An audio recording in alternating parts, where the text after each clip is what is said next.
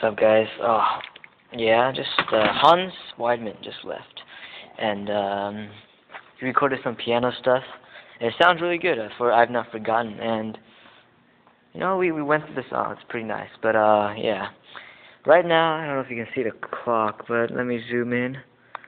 It is 4:10 right now. I've been here for hmm more than four hours. Around four hours, yeah.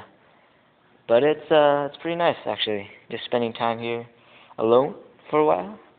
No one here, no one here. Well, it's bright. But you know, it's pretty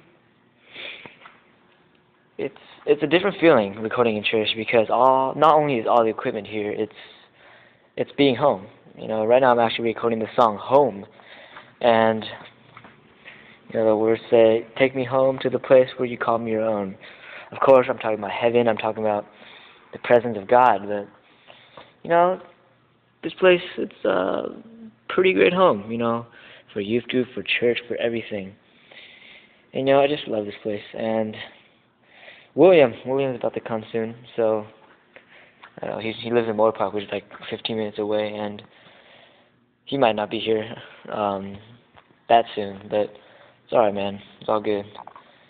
I'm gonna have a full day today. Halfway there.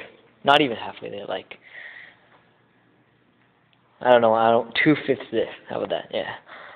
Alright, well, I guess I will try to make some more videos, I guess, because this is kind of cool. Kind of a personal experience, man. Yeah, whatever. Alright. Yeah. Alright.